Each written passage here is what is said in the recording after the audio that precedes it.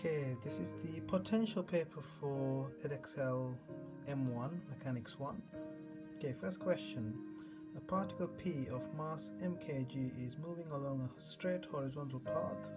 Particle P collides with a particle Q, which is 6 kg. Particle Q is initially at rest. Immediately after the collision, the particles move together with speed 8 meters per second. If particle P was initially moving with speed 12 meters per second,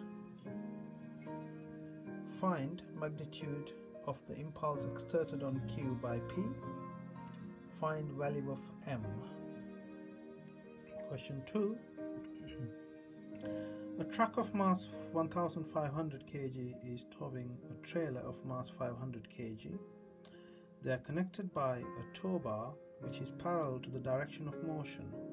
The truck engine produces a driving force of 4,500 newtons.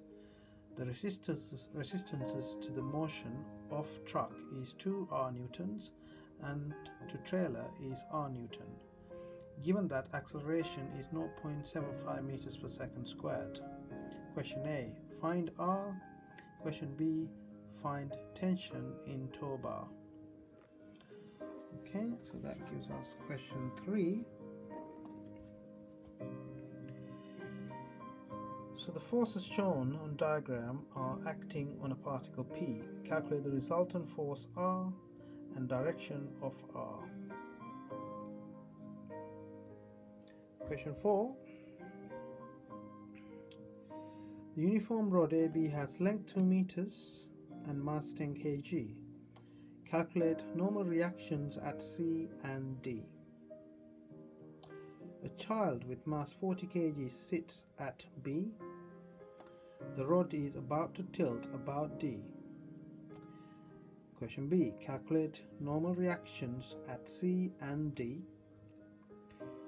Another child of 45 kg sits on AB, x meters from A, making the normal reactions equal find x.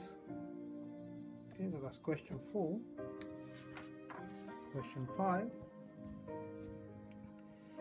A stone is projected vertically upwards with speed u meters per second from point A. Point A is 10 meters above sea level. Time between the projection and hitting sea level is 6.75 seconds.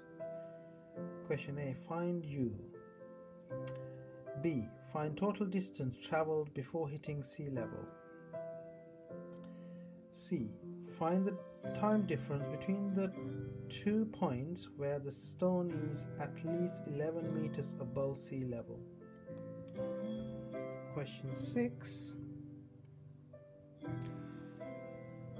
A particle A of mass 10 kg is moving up a rough plane inclined at angle alpha to horizontal. A is accelerating at 0.75 meters per second squared by a force P parallel to the horizontal axis. Coefficient of friction is 1 over 5. Question A. Find force P. Question B. Find alpha. Question C. The force P is now removed. Find acceleration of A.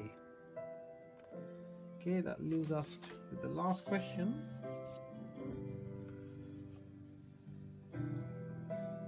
Question 7. Part A. Two particles of masses 5 kg and 8 kg are connected by a light inextensible string which passes through a smooth pulley as shown in figure.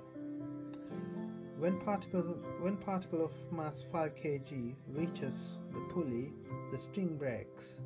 Calculate the total time taken for the particle of 5 kg to return to its initial position from beginning. Question B. Both particles are initially 5 meters above ground level. Calculate the time difference between two particles hitting the ground. Question C. Calculate the total impulse exerted on both particles by both impacts. Okay, so I'll just try and show you this question in one go because the diagram is at the top. Okay, good luck guys and uh, mark scheme will be up next week